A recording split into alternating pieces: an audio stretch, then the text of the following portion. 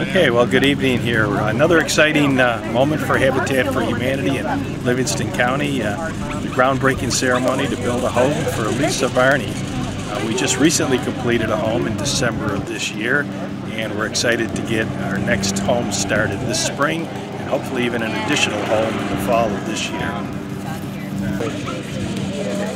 And again, Livingston County Habitat for Humanity has a mission, and that's to provide housing, affordable housing, for our partner families and for those in uh, need of either a complete home build or critical repair to an existing home.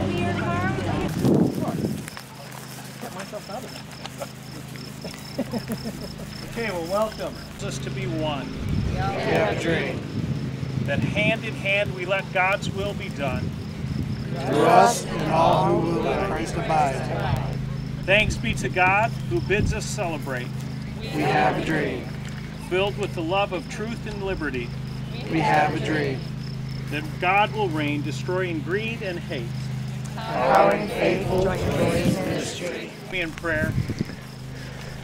Dear God, we thank you that as we have gathered and you have called us to this place, we have already done many of the necessary tasks to construct this house. But Lord, before we start, to raise the walls on this home of the Varney family, we want to begin building on a solid rock of your love. And so we take time to pause, to marvel at your goodness and your mercy. We stop to thank you for reaching out to each person that is here to bring us together in your service. We halt our anticipation long enough to glorify you and to commit this ground, this home, and this family to you. We ask that your blessings on our work, on the friendships that we will develop, and on the sermon of love that this house will represent. And everyone said, Amen. Amen.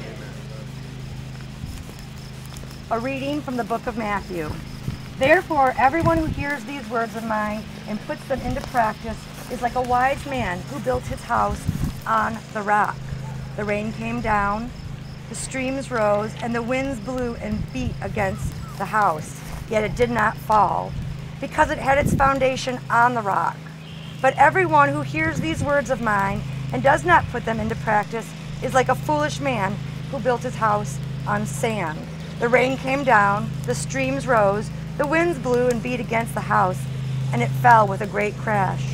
When Jesus had finished saying these things, the crowds were amazed at his teaching, because he taught as one who had authority teachers of the law. So let's gather together and pray a prayer of blessing over this property and this home that is going to stand. Dear God, we realize that we are standing on holy ground. We sense and we feel your presence, and therefore we know that this is a holy place.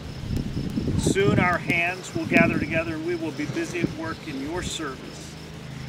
And so as we prepare to break the ground for this new home, we ask for your blessings on each person who will gather here and upon those who have made their contribution in other ways.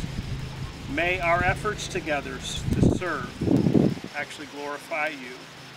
And everyone said, Amen. Amen. So at this time, I'd like to invite Lisa up.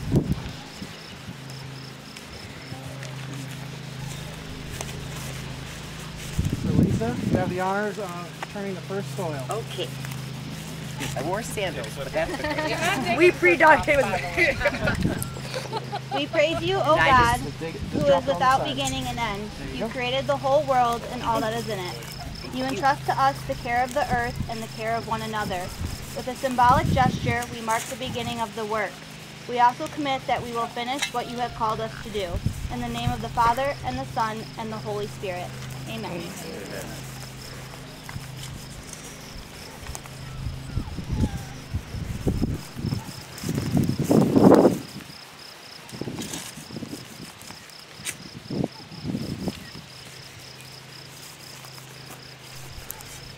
So let's all join together in saying the Lord's Prayer. I will get us started and let's use debts and debtors, okay? Our Father, who art in heaven hallowed be thy name. Thy kingdom come, thy will be done, on earth as it is in heaven. Forgive us our trespasses, forgive our debtors. Lead us not into temptation, but deliver us from evil. For thine is the kingdom, the power, and the glory forever. Amen.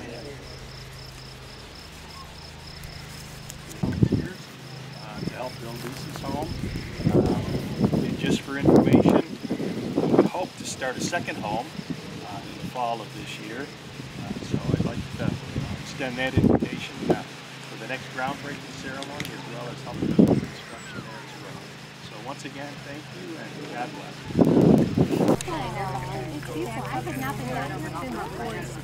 I know. Hi, I'm Robert Johnson. I'm the Executive Director of Livingston County Habitat for Humanity. We are here at our groundbreaking ceremony. It's in Julie Court and Byron, Fowlerville. Um, we are here to bless the ground and we're uh, looking forward to our new build. We had a wonderful ceremony. I want to thank everyone who showed up, including a representative from the Congress. Um, so thank you to all of our supporters, not only that were here or could be here in spirit. So you need, what do you need? You need dirt spray? Eddie, hello, my name is Lisa Varney, and I have been recently uh, um, accepted by Habitat for Humanity to be the next partner in getting a home built, me and my children. Um, I'm excited. Our community is extremely generous and giving, and Habitat for Humanity is a basically they do the work of God through God. Um, they help people in need, and I've had nothing but great experiences. I've seen a lot of giving people at the gala event, um, people that care in our community and want to help us. So right now we're at the groundbreaking ceremony. Excited for this to happen. We're going to get the foundation built, and hopefully within the next month or two, get rolling on putting some walls up. I'm extremely thankful for Habitat for Humanity and appreciate everything that they're doing for me. We're very blessed.